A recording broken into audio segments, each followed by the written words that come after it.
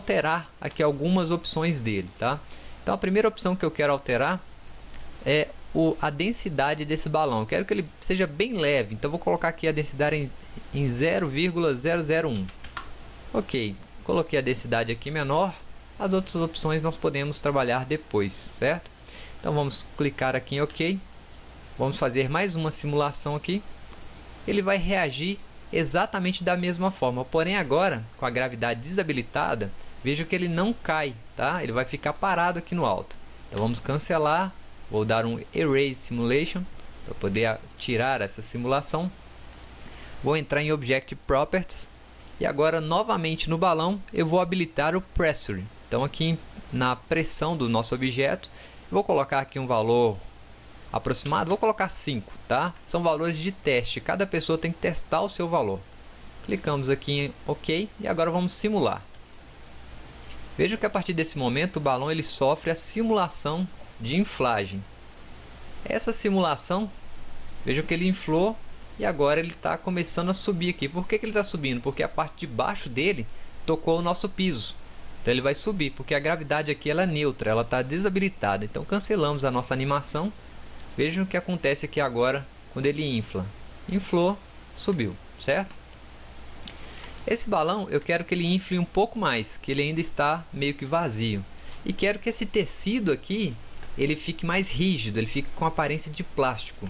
Então como que eu vou fazer? Eu primeiro tenho que apagar a minha simulação anterior. Vamos em Object Properties, balão, e aqui eu vou tirar o stretch dele. Vou colocar o stretch em 5, por exemplo, tá? para que ele contorça o mínimo possível, como se fosse um objeto de plástico mesmo, certo? Uh... E por falar em plástico, uma das opções também que nós temos do material é essa opção aqui, Plasticity, tá? que, é, que seria a plasticidade do objeto, como se ele reagisse como um plástico, com aquelas quebras, aquelas dobras que o plástico tem. Então vou colocar aqui o Plasticity em 1, tá? o valor 1 por enquanto, nós podemos mudar a qualquer momento. Clicamos em OK e faço uma nova simulação do meu objeto. Vejo que novamente ele vai simular, porém agora ele vai sofrer algumas pequenas alterações. Ok, como vocês podem perceber, neste momento ele já tem uma reação diferente.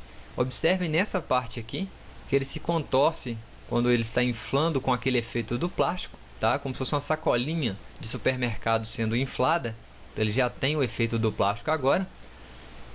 Vamos ver mais algumas opções aqui dentro do nosso painel em relação ao nosso balão, certo? Sempre voltando aqui na opção balão, e eu vou aumentar a pressão dele agora, eu vou colocar em 10.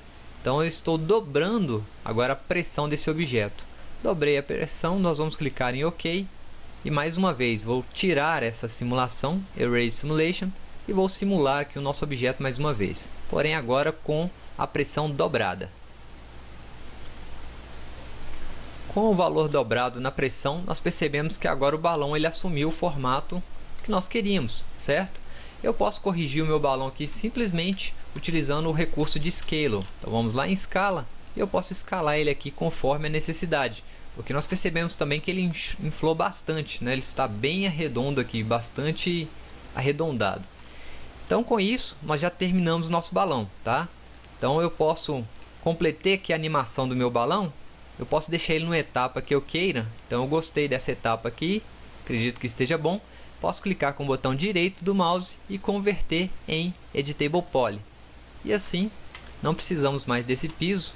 Vamos diminuir um pouco aqui o tamanho do nosso balão, certo? Então, através do método Scale, vou reduzir um pouco a escala desse balão, ok? Vou girar 90 graus aqui em relação à nossa vista, que é a vista perspectiva. E agora vamos criar um cenário para esse balão.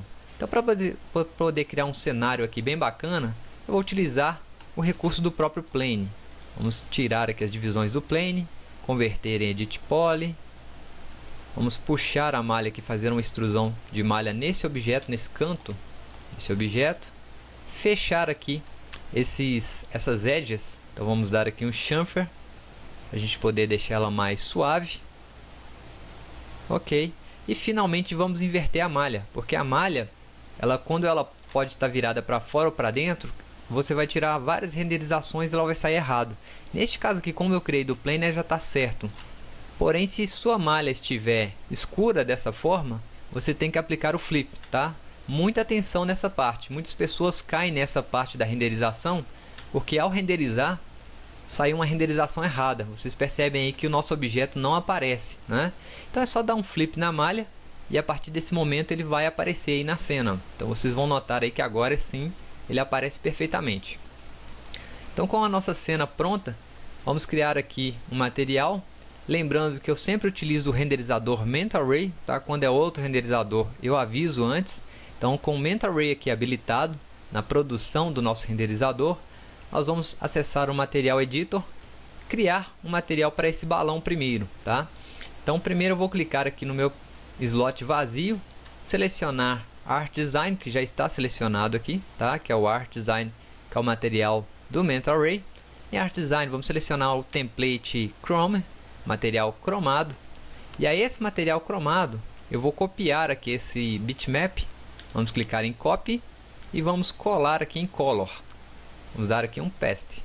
E agora sim, vou arrastar esse material para o balão, certo? Com o material já adicionado ao balão, agora nós temos que criar o nosso background em volta desse balão. Então vou adicionar esse material aqui ao meu fundo. Esse material vou tirar o reflexo, tá? Para que ele não reflita. Vamos deixar um pouco mais claro aqui na nossa cena. Acredito que aqui esteja bom, tá?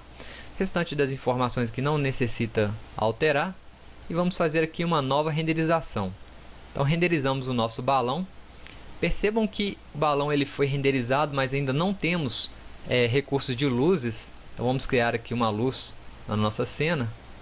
Vamos acessar o painel Create, Lights, Mental Ray Sky Portal. Vou criar aqui um portal de luz acima desse objeto. Ok.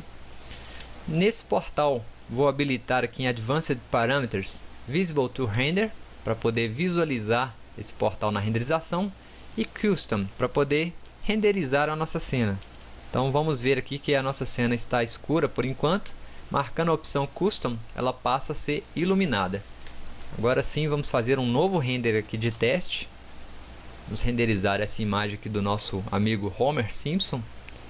E aqui temos a renderização inicial do balão. Notem que o fundo da nossa cena preto, ele não traz o realismo para a nossa cena, certo? Então agora nós vamos investir no nosso environment, tá? que é o nosso background. Então para a gente poder investir no environment, nós vamos usar aquela imagem HDR que vocês viram lá no início. Então vamos aqui no painel Render. No painel Render, vamos em Environment. Environment eu vou clicar em None, Bitmap e vou escolher a nossa imagem que está lá na área de trabalho, que está lá naquela pastinha do nosso tutorial. Acessando a nossa pastinha, Vou selecionar a nossa imagem que eu mostrei lá no início, clicamos em Open, OK. E agora já posso fazer um novo render. Vocês vão reparar que o render anterior foi esse, certo? Vou deixar ele aqui como cópia. E o novo render agora vai ser um pouquinho diferente. Ele vai ter o reflexo aqui, ao invés de um reflexo escuro, ele vai ter essa imagem de fundo, como se fosse uma imagem aqui do nosso cenário, do nosso environment. Ainda, se eu quiser ocultar esse cenário aqui de fundo, vamos dar um Hide Selection, vou fazer uma nova renderização e aqui nós podemos renderizar somente com o nosso environment, nosso background, certo? O que nós podemos fazer aqui para poder melhorar também um pouco mais a visualização desse balão é clarear o nosso environment, clarear o nosso background. Então vamos lá no nosso editor de materiais, vou fechar essas janelas aqui para não criar muita confusão, certo? Vamos abrir a nossa aba Render, Environment e vou arrastar o material que eu tenho aqui, o meu, meu slot que eu tenho do nosso mapa HDR. Arrastei aqui para dentro do meu material e vou arrastar manter como instância. Sendo assim, todas as alterações que eu fizer nesse material, o nosso environment vai sofrer também. Então vamos abrir aqui o nosso environment primeiro. Agora Vamos tirar aqui, aliás, vamos colocar um pouquinho de blur, colocar em 3 para suavizar um pouco o serrilhamento. Em output, que seria a saída da nossa imagem, Vou colocar em Output Amount valor 3 para iluminar mais o nosso cenário. Tá? E vamos fazer aqui um novo render. Então vamos renderizar mais uma vez aqui o nosso balão. Percebam aí que já temos a renderização do balão. Ah, Daniel, gostei, mas eu não queria renderizar esse fundo. Eu queria que ficasse transparente. Como que eu faço? Bem simples. Você vai pegar agora, vai desmarcar a opção Use Map, que está aqui, certo? Clicar nesse bot com o botão direito do mouse em Map 03, criar aqui uma cópia. Vamos lá no nosso material, que é o material do Homer Simpson. Nós temos aqui na nossa cena, certo? Vamos descer a rolagem desse material e aqui em Environment eu vou clicar em Past Instance. E agora o nosso environment foi aplicado somente ao material e não ao nosso fundo, ao fundo do nosso 3D. Agora eu posso renderizar mais uma vez, que vocês vão notar que o balão fica aí com fundo transparente. Ah, Daniel, eu queria fazer balão, mas com cor única, cor sólida, como que eu faço? Bem simples, basta criar um novo material para esse balão. Por exemplo, aqui eu vou criar uma cópia dele, tá?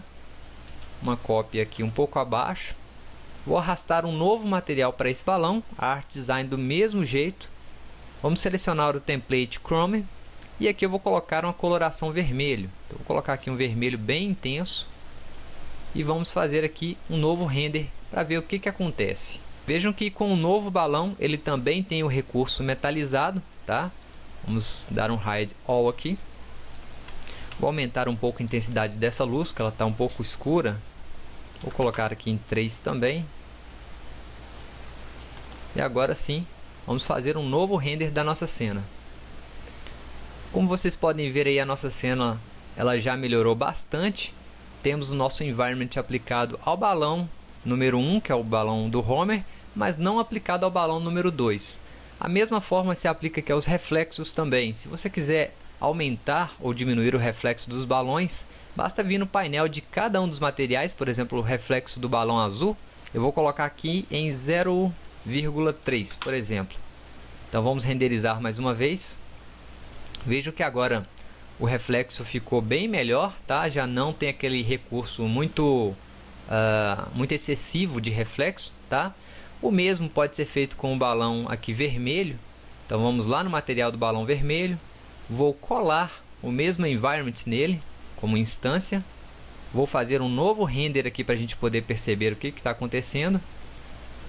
Veja aí que o balão ele foi criado e está com essa cor bem excessiva, tá bem bem intensa do vermelho.